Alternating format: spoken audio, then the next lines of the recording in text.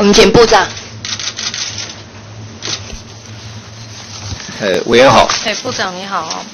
部长，这次的这个国安团队的人事安排跟调动哦，有呃一些外界的观感哦，有一些评论哦，例如说说是近亲繁殖哦，说是这个马英九身边的人哦大风吹哦，这个在调整位置，有人说是马英九在镜子里面找人哦，你觉得你是马英九的分身吗？是他镜子里面找到的人吗？你跟马英九？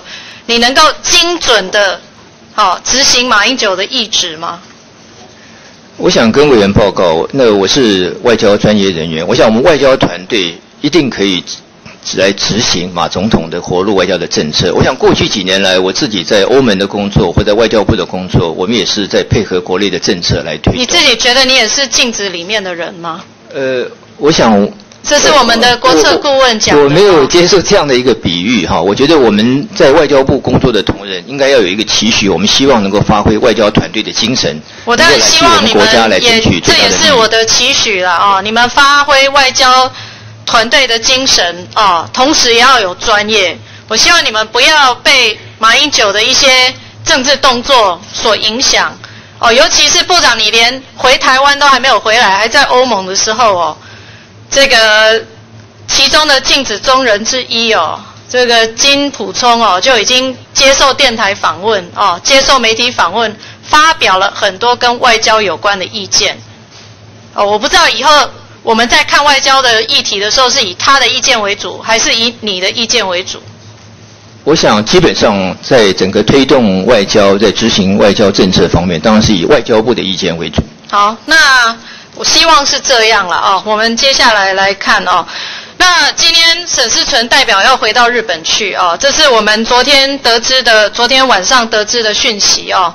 但是呃，我希望部长在处理这个事情上面哦，你们能够很慎重的，不要只是在这边一问一答的片段式的来解释他要回去的名目。跟目目标，我希望你们能够很慎重的召开记者会，因为毕竟当初他回来的时候，是我们的马英九在总统府里面说他是为了要抗议日本而召回，是一个抗议的动作。那今天他要回去，是解除了抗议的动作，还是我们有不同的务实的看法？我们大家都一样期望渔业谈判赶快进行。我们也希望沈代表在日本很多重要的业务一定要回去去执行，但是他在这个时间点回去，我希望你们很慎重的来处理，因为这个涉及到君无戏言，涉及到马英九总统已经对外呛瞎放的话，也涉及到我们国家的尊严，涉及到我们接下来跟日本关系要如何去推进，如何去进展。我希望你们能够有一个很完整的外交部正式的新闻稿。对外来做完整的说明。我们会有这个正式的新闻稿对外说明。那我我另外也要提醒你了啊，虽然我们大家共同的一个期许都是我们不跟中国联合起来处理对日本的问题，但是国际视听已经被严重的混淆。哦，我要提醒你了，包括哦，我不知道你有没有听过 Nelson Report 哦，在华府哦，只要任何跟亚太地区政策有相关的人，大家都听过，也会去看。是哦，这个算是蛮有影响力的一个内幕的 report。哦，那他最近呢转载了一篇这个新加坡的这个呃观点哦，在看待这个中日之间的这个冲突哦，那其中这样写了哦。Taiwan's entry complicates matters for Washington and Tokyo 哦，针对钓鱼台这个事情哦。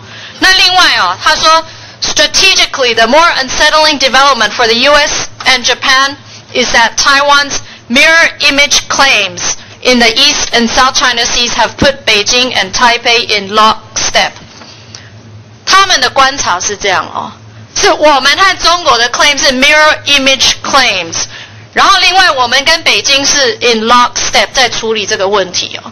即便你再怎么讲，我们的作为，包括现在外交部的论述，我知道这个跟你个人是无关，但是你是外交团队的。你们现在在网络上的论述，你们对外发布的新闻稿，很离谱的，从明朝、清朝严格开始，好像一副我们是承接明清皇室法统的政权一样的这种论述，我没有办法接受这种论述。我也觉得这种论述是在帮中国合理化他在钓鱼台的作为。我更认为这样的论述帮了中国，对台湾的安全构成了更大的威胁。在整个西太平洋，在太平洋岛链，在第一岛链开了一条通往太平洋的大陆海路。我觉得这个问题我们一定要小心。我也要提醒你，国际社会有影响力，包括新加坡的《海峡时报》等等，都已经有这样的论述出现了。我希望你们很强烈的去去澄清。我更希望你们在各个国际的媒体，包括你们过去用各种在宣传你们跟中国关系有多么亲密的这样的一个积极度，去澄清这个事情啊。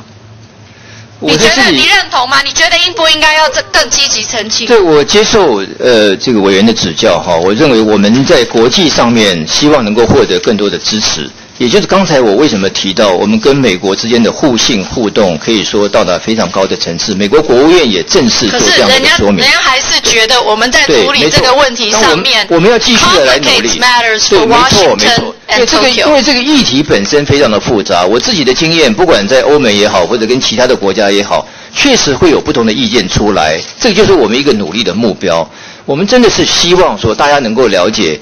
我们在国际上的支持，还有维持两岸关系的平衡，这个是我们目前所做的一个。我个人建议啦，我们在处理除了除了很很积极慎重的跟国际社会用各种的方式去澄清我们的立场跟态度以外，我们的基本的论述要做一些调整啊。我们要有一些现代化的论述啦。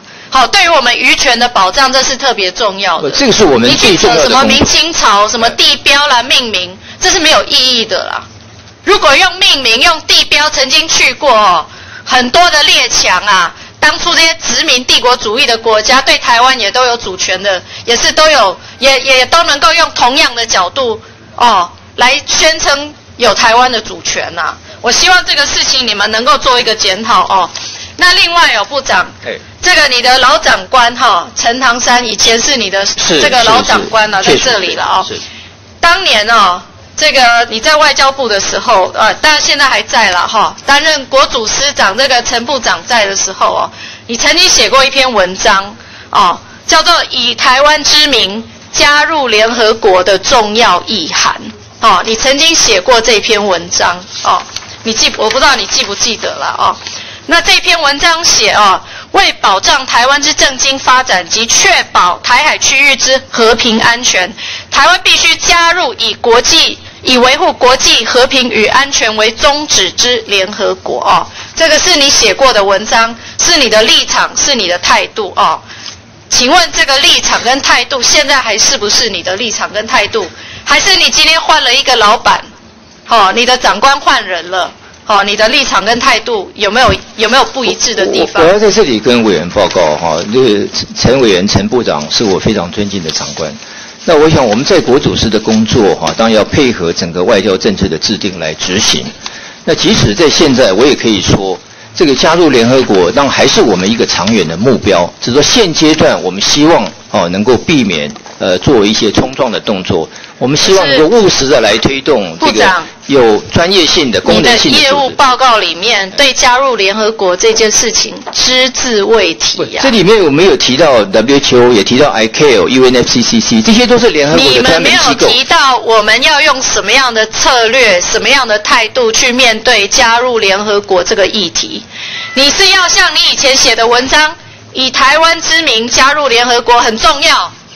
还是那个时候国民党推公投，中华民国重返联合国，还是你是像现在你的前任的杨敬天部长，弄卖个供啊，弄卖个供啊，南宫 WHO 的贺啊，联合国都不要再讲了，也不要再放在业务报告里面，你现在的态度是什么？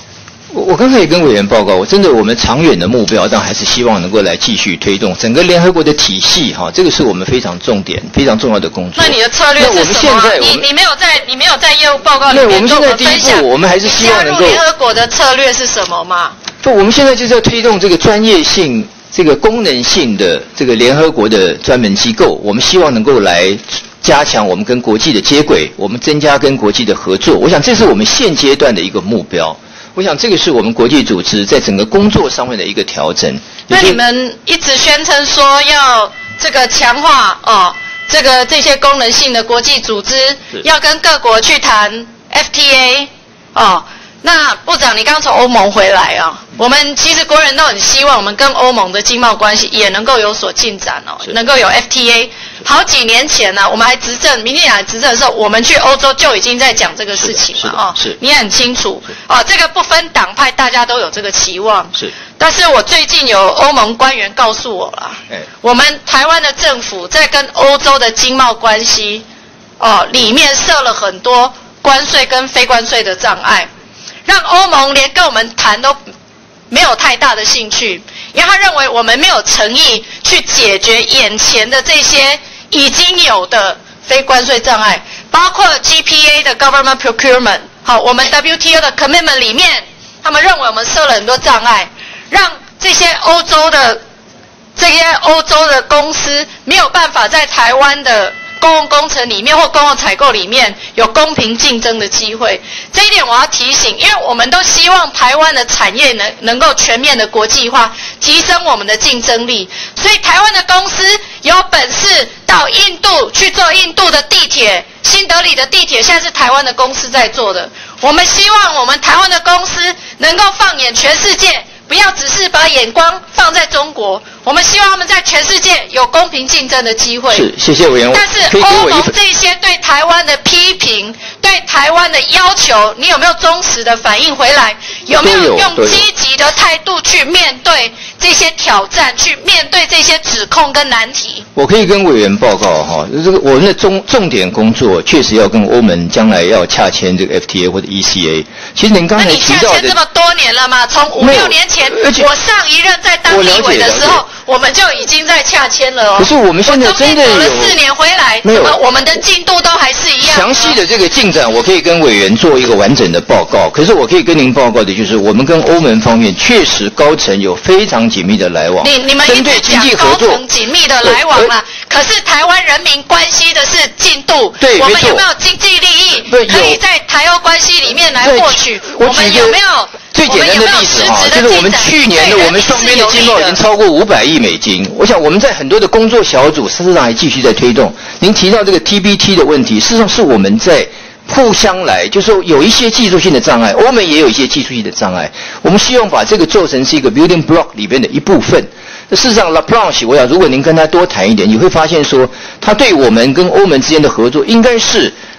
非常的满意了，我可以这样讲。但有一些地方不是尽如人意。有一些欧盟、欧洲国家驻台的官员，对，就是针对我们的，包括我们的 GPA commitment，哈，我们的在农业政策上。对对，还是有所顾忌的。这个开放的部分，我们会进一步的来推动了，因为这个牵涉的蛮多的。可是牵涉了很多，但是你们没有用诚实的态度，对，去协助可能会受到影响的这些产业去做该做的转型，是的，去面对我们在全球化该面对的挑战。你们如果是当做它不存在，哦，不是，我们非常的重视这个事情，我也可以跟委员报告，真的是有非常具体的进展，我愿意跟您报告。是是，请我们部长把相关。